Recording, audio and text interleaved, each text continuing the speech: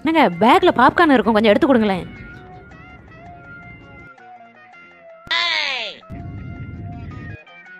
நான் கூட மதியத்துக்கு சாப்பாடு கொண்டு வரலன்னு நினைச்சு ஃபீல் பண்ணேங்க.